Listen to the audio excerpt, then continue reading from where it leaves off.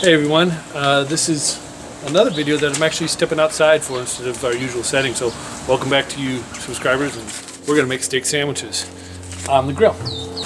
I've got one yellow onion that's just sliced up uh, and four tablespoons of butter. You're probably thinking that's an awful lot of butter for this little bit of onion. I'm going to set this on here about midway through my heat. My heat's on this side.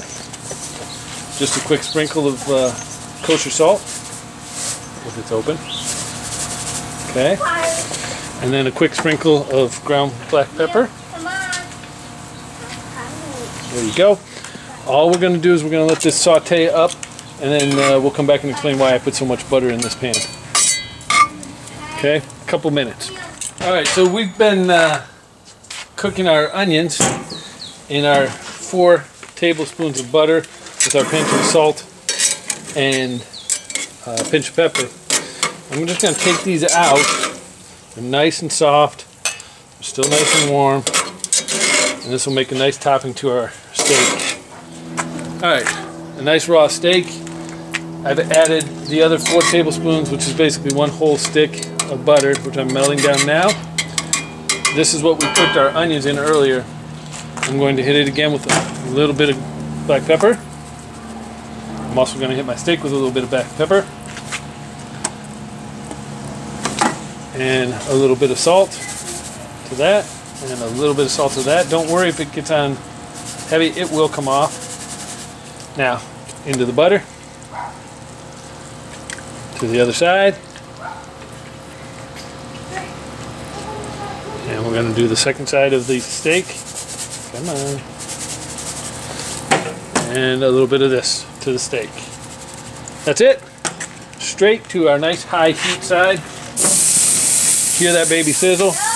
Two minutes to a side, and then we'll move it over to the uh, no no charcoal side so that we can cook it slow and low for about 10 minutes. You can see uh, one, some of my family members like theirs a little more well done, so I left this one on the high heat for a bit, but I've moved them off, and now I'm just moving them back to make sure that I get a nice set of grill marks crisscrossing on them.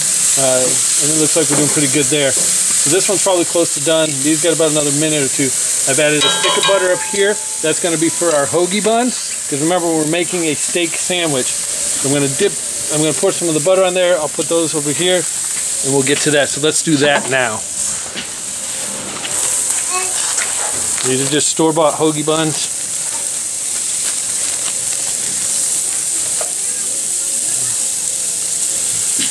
Open these up. All we're going to do is come back in here and get some of this great looking butter and just spread it on a little bit. I'll show you what it looks like here. And remember, this is just salt and pepper. You watch me make this butter. It's a clarified butter, if you will. Alright? So, all we're trying to do is get a little bit of crisp to our bread so that it doesn't fall apart when we cut up our steak and put it on top of that. Same thing for a couple more, and then uh, we should be getting ready to cut this up and put the cheese on and start making our sandwiches. You can see that our steaks have some nice color on them now. So I've got another skillet here, and I'm just using this to let my meat rest before we actually cut into them. You can also see that I've buttered the buns and put those on. Resting meat we want to cover it so it keeps from getting cold. And what this is going to let it do is let the inside, let the juices stick in there, but also let it continue to cook for a little bit. So we'll just let that sit. We've taken the bread, we've toasted it up. I've got uh, some Dijon mustard here, but you know, if you like mayonnaise or you want to make your own kind of dressing on there, um, go ahead. I'm just going to use a little bit of Dijon. Um, and then I'm going to go ahead and take, this is provolone cheese half and half. Okay, we've got a piece of this one of the steaks here. I'm going to cut off some of the fat, and this is the one that was well done.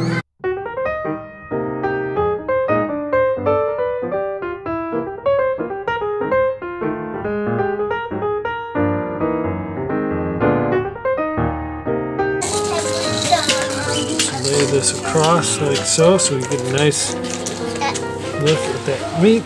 Now that we've got the steak down, I'm going to take some of those caramelized onions that we uh, put on our skillet on the grill. And just spread those on top. That's pretty good. One more piece of provolone. At this table, outside. No, we're going to eat inside. This is a little bit of fresh baby arugula. Slide that on there. Daddy. Hi, outside. And top it. And